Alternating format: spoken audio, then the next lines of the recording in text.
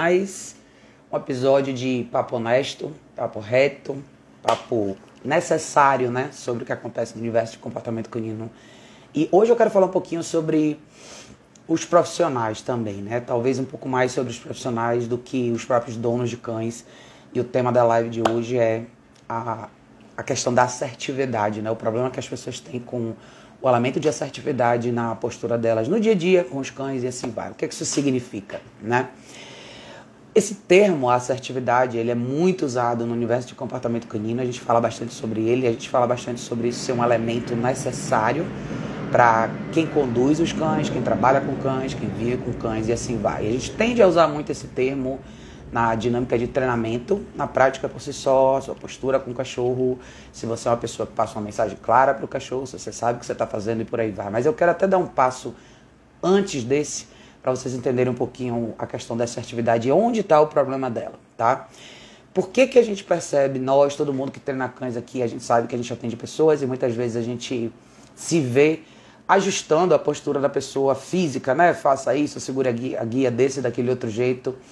Mas tem uma parte importante que acontece na mente das pessoas antes de tudo isso acontecer, e talvez esse seja o grande obstáculo, não só para os treinadores, mas não só para os donos de cachorro, mas para os treinadores também, tá?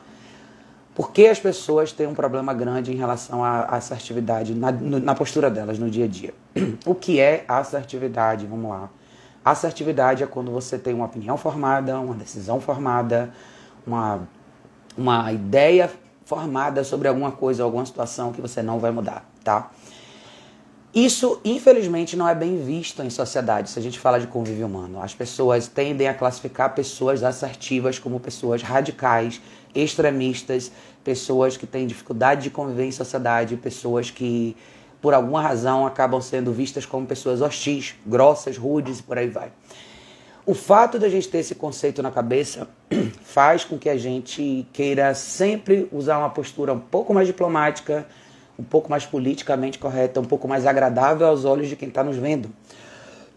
E isso acaba sendo um grande problema para a maioria dos adestradores, para a maioria dos profissionais que trabalham na área. Porque quando você não se posiciona de forma clara e quando você está constantemente querendo agradar gregos e troianos, você deixa de ser uma pessoa excepcional, uma pessoa admirável e você passa a ser mais uma pessoa que precisa fazer parte do grupo. A gente já falou sobre isso nas lives anteriores. Então, vocês vão me ver falar sobre isso constantemente porque existem necessidades e, e fragilidades pessoais que, que, impedem, na verdade, as pessoas de andarem para frente, não só no treinamento dos cães, mas no dia a dia delas, de forma geral. E eu acho que para um profissional isso é um problema e é um problema muito sério, tá? Eu tenho visto muitos profissionais nos últimos anos tentarem muito se encaixar no modelo de marketing que as pessoas consideram ser legal, que é um modelo onde você não necessariamente condena nenhuma, nenhuma outra coisa, que você não necessariamente vai para nenhum extremo. Todos vocês já devem ter ouvido muito falar isso que você não pode ser extremista, você não pode ser radical, você tem que considerar os dois lados, você tem que considerar X, Y, Z. O ponto é o seguinte: sim, é importante a gente aprender a contextualizar e entender o que é usado e o que se pode fazer em situações diferentes, principalmente quando a gente fala de treinamento de cães, mas existem coisas que você tem que ser. Existem situações onde você realmente precisa ser assertivo, tá? Você precisa saber se posicionar do que você considera ser certo e errado, e aí é onde está a grande questão. Então, eu vou dar alguns exemplos aqui para vocês, para vocês entenderem do que eu estou falando, para o diálogo não ficar tão abstrato assim, tá? O que fazer com o cachorro quando você chega na frente do cliente? Tem coisas que são não negociáveis se você quiser que o treinamento vá para frente, tá? Muita gente tem dificuldade com coisas que são bem simples, que estão ligadas à restrição, que, por exemplo, a caixa de transporte é uma coisa que a gente fala bastante, eu falo bastante, e Muitos profissionais vão se ver em situações onde eles vão sentir uma resistência do dono do cachorro e vão começar a acomodar essa resistência do, do cliente para não perder o cliente. Então o diálogo começa a ficar mais suave, o diálogo começa a ficar mais, mais maleável, mais permissivo. Nesse momento, você perde, perde a sua assertividade. Nesse momento, você sai do papel de profissional que está ali para orientar, para trazer solução para ser a pessoa que vem apaziguar ou acomodar uma emoção de estabilidade ou insegurança da pessoa. Por quê? porque nós, como sociedade, tendemos a ver esse, esse, esse momento de assertividade como uma coisa ruim, quando na verdade não é, tá? Então, o que, que o profissional perde com isso? Vou dar outro exemplo, tá? Tem pessoas que acreditam que todas as ferramentas de treinamento são legais. Ah, não tem problema nenhum. Ah, eu uso XYZ, mas você pode usar A, B e C, e se você usar aquela e aquela outra tá tudo certo. Você acabou de perder sua assertividade. Sim, absolutamente o que é mais importante é o resultado do cachorro e absolutamente o que é mais importante é o que funciona para você e seu cachorro. Mas todos nós sabemos o que, que existe aí uma, uma gama de possibilidades que pode dar certo e outra que nunca vai dar certo. E uma coisa que eu tenho percebido muito são pessoas querendo se encaixar em todos os quadradinhos de possibilidades para que elas sejam aceitas por todos os tipos de pessoas. Isso novamente é um momento onde você perde a sua assertividade, você deixa de ser um especialista, você deixa de ser um expert, você passa a ser essa pessoa que pode ser uma coisa, pode ser outra. De manhã ela pode ser um treinador X, de tarde ela pode ser um Z, um dia ela pode ser uma pessoa firme, no outro dia ela pode ser uma pessoa mais maleável. Isso não é bom, tá, gente? Tem muita gente que acha que isso é bom, mas isso não é. Isso, de novo, vem de uma questão cultural e dessa injeção de informação e de esse formato que, que, que, que o mundo quer que a gente se encaixe agora, que é você tem que aceitar tudo. Põe uma coisa na cabeça de vocês, vocês não têm que aceitar tudo, tá? Então eu sou muito clara quando eu falo, por exemplo, do tipo de equipamento que eu uso e o que eu não uso. Tem, eu, eu, eu falo bastante que o peitoral é uma ferramenta que não serve para nada a não ser para você segurar o seu cachorro no banco de trás do carro ou para você pegar e colocar nele para ele arrastar alguma coisa que tem ao redor dele. Peitoral nunca vai ser uma ferramenta para você treinar cachorro, nem hoje, nem nunca, tá? E eu vejo muita gente tentar usar esse tipo de equipamento ou tentar defender essa prática de alguma maneira, simplesmente para não parecer ser tão radical. Outra coisa que surge o tempo todo, esse papo de enriquecimento ambiental. Ah, você tem que pendurar é, umas engenhocas na sala da sua casa, você tem que pendurar garrafa PET cheia de ração, você tem que fazer XYZ. Não, você não precisa fazer nada disso. Você não precisa disso, você não precisa comprar nenhum brinquedo pro seu cachorro.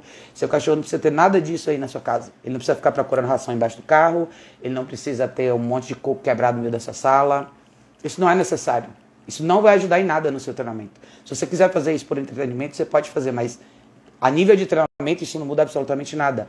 E quando eu vejo as pessoas falarem sobre isso e venderem isso como possibilidade, eu sei que elas estão. Ela, qualquer profissional que está na área sabe disso. A única coisa que, o único motivo pelo qual eles falam sobre isso é para fazer você se sentir bem. É para fazer você se sentir confortável e para fazer com que você tenha uma visão dele de que ele, de novo, não é um cara tão radical. Então não tenham medo de entrar um pouco nessa arena do que é chamado de radicalismo. Isso não é radicalismo. Isso se chama assertividade. Se a gente trouxer isso para um, um exemplo humano, tá? Vocês podem perceber isso muito em ambientes sociais, quando você chega numa mesa ou você vai conhecer pessoas novas. É óbvio que as pessoas se regulam inicialmente, você estuda o ambiente, você vê quem está ali, mas em algum momento vai ser exigido de você uma certa uma postura que descreva quem você é. Em algum momento você tem que se mostrar. E se nesse momento, se nessa oportunidade que você tem de se mostrar, você não se posiciona, você de novo perde a sua identidade. Então, existe uma diferença entre você ser quem você é em qualquer ambiente onde você está, versus você estudar e apenas se adaptar. Então, vejam como é, eu acho que é até é irônico isso, né? Isso acontece com muitos profissionais. Ao mesmo tempo que a gente está no papel de exigir postura, liderança e firmeza do dono do cachorro em questão, muitas vezes somos nós que estamos falhando nesse papel. Quando nós recuamos da nossa decisão, quando nós falamos que é imperativo, é importante, é necessário, é mandatório o dono investir numa caixa de transporte e fazer essa adaptação e de repente você dá para trás porque você sente que o dono não quer. Quando você determina que sim, o cara vai ter muito mais sucesso se ele usar uma prong e a pessoa chega e fala: "Não, mas eu quero treinar no peitoral" e você dá para trás de novo. Você vai deixando a cada momento desse que você deixa a sua assertividade de lado e se adapta ao que o cliente quer, você deixa de ser um expert, você deixa de ser excepcional e você passa para a categoria medíocre que a gente falou antes, é a categoria do seguidor. Então, se questione nesse momento se você, como que você tá, vai exigir que uma pessoa faça uma coisa que você pediu, quando nem você conseguiu bancar sua própria opinião frente a essa pessoa e agora você deu para trás. Isso acontece muito em rede social, tá? Nas redes sociais de hoje, se vocês estudarem os profissionais e os adestradores, vocês vão ver que eles fazem isso com muita frequência. Então, uma pessoa que de repente usa colar eletrônico, usa prong e assim vai, um dia a pessoa está com esses equipamentos, no outro dia ela já está, não, mas existe uma possibilidade sim de repente, sim, você pode usar um peitoral. De repente, sim. Por que não isso daqui? Por que não a coleira XYZ? Sim, você pode também usar um cercadinho. Sim, você pode também é, fazer enriquecimento ambiental. Acabou. Você já perdeu, na minha visão, você já perdeu a credibilidade. Pense que o dono do cachorro, que não sabe nada, a última coisa que ele precisa é ficar confuso. A última coisa que essa pessoa precisa é de um quadrinho com 80 figurinhas dizendo para ele que essas são as 80 possibilidades dele. E o conceito é o mesmo quando você treina o cachorro. Se você é a mesma coisa que você tem que pensar em relação ao cachorro é isso. Se o cachorro vem treinar com você e você traz para ele 80 alternativas, a chance dele ficar confuso e não ter sucesso é enorme. E a, me a mesma regra vale para o dono do seu cachorro. O dono desse cachorro que vai ter que ser treinado por você. Então, eu não estou dizendo que vocês não podem considerar possibilidades, mas parem de tentar novamente ser, ser aquela pessoa diplomática demais, aceita demais, que está dentro aí do, do hashtag diversidade, eu não tenho preconceito com nada. Não, gente, o mundo não é assim, tá? Existem coisas na vida que são bem claras e definidas. O céu é azul, não tem discussão. Não, não tem muito para onde você correr, só tem essa cor. Se você começar a achar que o céu é cor de rosa, você já está na categoria de maluco, entendeu? E é a mesma coisa você dizer, ah, o meu o cachorro avança nos outros cachorros na rua. Ah, não, mas pode. É, é, ó, o caminho é o mesmo, tá? Em vez de dizer isso é errado, vamos corrigir. Versus, ah, não, mas pode ser que porque há oito anos atrás eu passei nessa calçada e tinha um ratinho aqui, ele não gostou, então até hoje ele. Tá, acabou para você, tá? Acabou, você perdeu a credibilidade, você cedeu para a fraqueza do seu cliente e agora você nunca mais vai conseguir resolver esse problema porque você só validou uma coisa que estava na cabeça do cliente, que isso é um problema sem solução. Esse é um dos motivos pelos, pelos quais muitos adestradores não têm sucesso nessa profissão. É muito nítido, tá? E eles acabam achando que a culpa é sempre do cliente que o cliente é sempre o cara que não faz certo, que não tem motivação, que não quer fazer, que é preguiçoso XYZ. Mas na verdade, muitas vezes o problema está justamente na postura do profissional. Quando o profissional não se posiciona, ele não vai poder cobrar do cliente essa mesma posição. Então a assertividade é uma via de mão dupla, tá? Ela na verdade tem um efeito, por mais que muita gente ache que é errado, mas ela, ela é muito eficaz se você sabe fazer isso e você sabe fazer isso de forma consistente. Não adianta você ser assertivo na sua opinião hoje e amanhã mudar de ideia. Ou você acredita numa coisa ou não. Ou você acredita em correção ou você não acredita. Ou você acredita em enriquecimento ambiental ou você acredita em restrição. Vamos fazer um paralelo bem nítido. Muitas, muita gente que propõe enriquecimento ambiental, propõe enriquecimento ambiental porque na cabeça dela não faz sentido restringir o espaço do cachorro ou deixar o cachorro ficar na caixa de transporte, por exemplo, por um período de 3 ou 4 horas. Então ela acredita que a melhor opção para o cachorro é criar um parquinho de diversão na sala da casa dela para o cachorro se divertir e se entreter enquanto ela está fora. São coisas distintas, opostas na realidade, tá? Então se a gente não enxerga desse jeito, a gente começa a se contradizer e a gente se perde na nossa posição de profissional e especialista, tá? Então eu quero muito que vocês prestem atenção nisso. Isso é facilmente perceptível para vocês que são donos de cachorro. Vocês estão procurando um profissional para atender vocês. A minha dica para vocês é pegue a rede social, o site, o canal do YouTube, que seja que você acompanhe esse profissional onde você encontrou e não veja uma ou outra postagem. Veja 10, 15 postagens. Descubra o quão consistente essa pessoa é. O segredo da assertividade está na consistência e na, na, na, na forma como você repete e replica a sua opinião em situações diferentes. Veja cachorros diferentes, veja treinos diferentes. Não é que você não pode ver eventualmente ferramentas diferentes, mas a ideia tem que ser a mesma, tá? E quando o papo começa a ir muito para o lado confortável, quando o discurso começa a não ser tão direto assim, cuidado. Cuidado porque você tem uma chance muito grande de cair numa armadilha com uma pessoa assim. Um profissional que vai te dar 80 alternativas, ele vai querer ficar na sua vida por 80 anos. Todo dia te dando uma alternativa nova, todo dia te dando uma possibilidade diferente, todo dia mostrando para você que, ah, já que você está desconfortável aqui, vamos tentar aquilo ali. Já que isso aqui não é tão legal para você, vamos tentar outra coisa. E passa seis meses, um ano, dois anos, três anos, seu cachorro continua no mesmo lugar. Então essa atividade é importante. Está na hora to de todos nós aqui que trabalhamos com cães olharmos para o nosso próprio umbigo e percebermos se somos nós, será que não somos nós o problema? Esse movimento todo que acontece hoje na internet de adestramento puramente positivo, e os adestradores com essa necessidade de colocar na descrição deles, faço adestramento positivo, sem traumas, sem dor e tararará. Os outros que deveriam estar nessa arena de cá, na minha arena, por exemplo, estão ficando muito suaves nas suas descrições. Eles têm medo de mostrar que eles não são isso, como eles não querem ser esse oposto, eles tentam encontrar uma posição no meio, tá? E aí é onde você acha esses quadrinhos com milhares de opções, é onde você começa a achar postagens irrelevantes que não tem, servem para absolutamente nada. Ah, cinco curiosidades sobre o bulldog francês. Entendeu? Você acha realmente que essa altura do campeonato é disso que a gente tem que falar? Será que não tem tantas coisas muito mais importantes que a pessoa precisa, que precisam ser ditas, na verdade, na esfera de, de rede social para que as pessoas entendam de verdade o que você quer?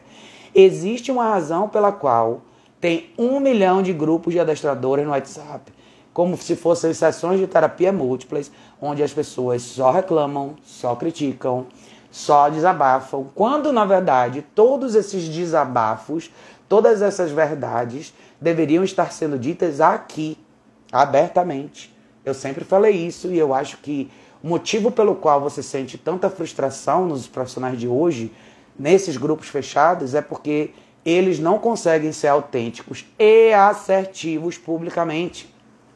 Por que não dizer qual o problema de dizer o que você pensa aqui na frente da sua audiência? Você não vai ter que encontrar essas pessoas eventualmente? Se qualquer uma dessas pessoas se interessar pelo seu trabalho, você não vai ter que estar de frente para ela em algum momento?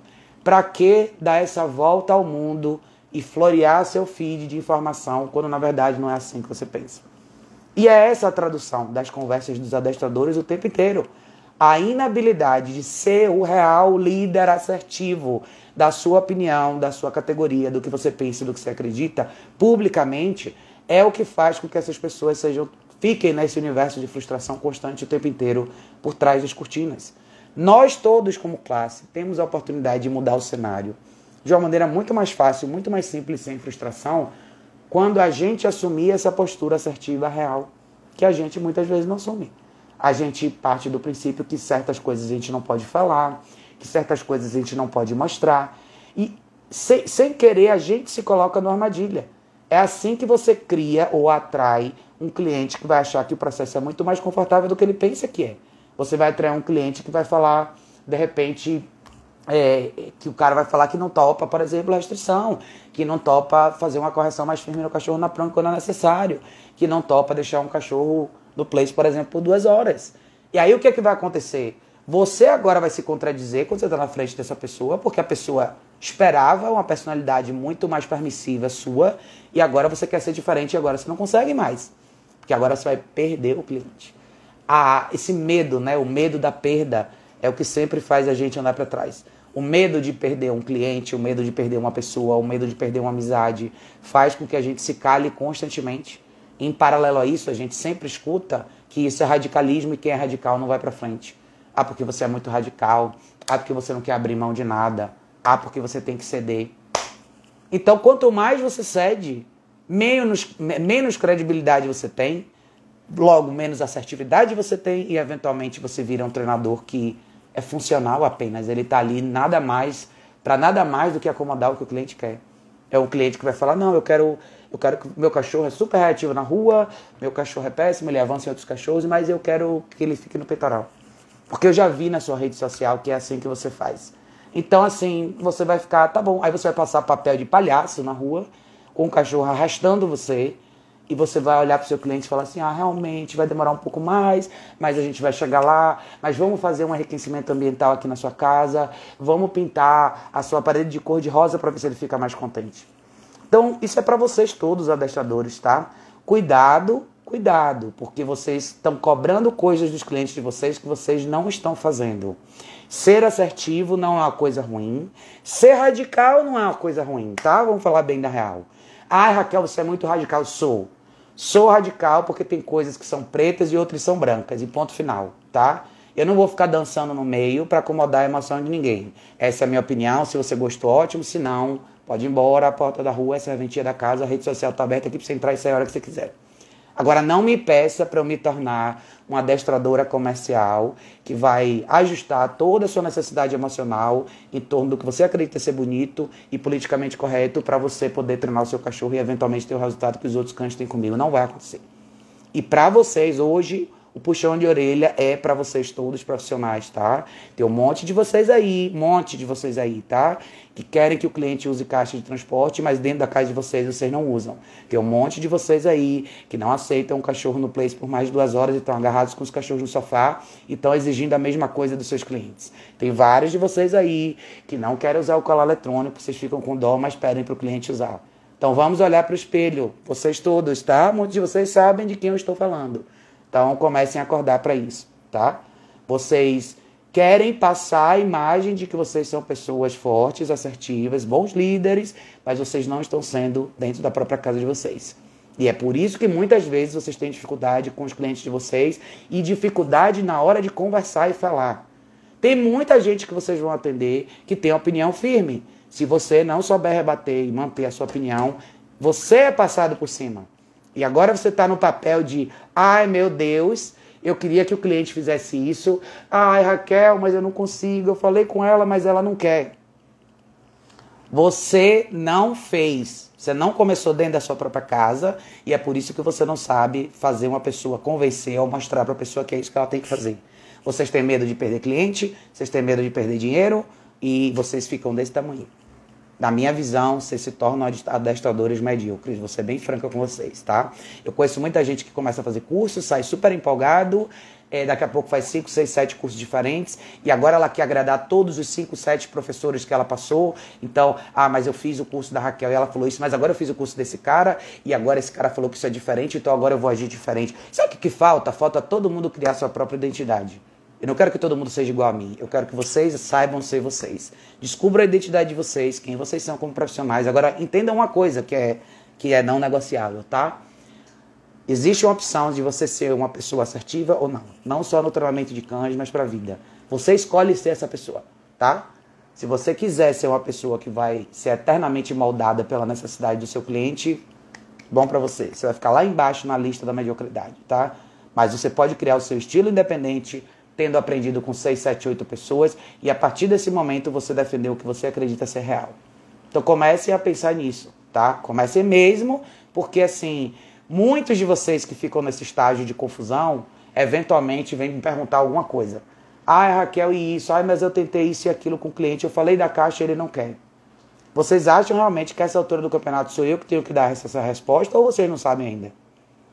Se vocês não sabem, não me perguntem mais. A resposta está aqui agora nesse vídeo, tá? Então, beijo, joguem duro e ó, assertividade e radicalismo muitas vezes tem que existir. Se vocês não tiverem, não esperem que eu no final venha limpar essa sujeira, tá? Beijo. Gente, Raquel Educação Canina, tô aqui de volta pra gente fazer mais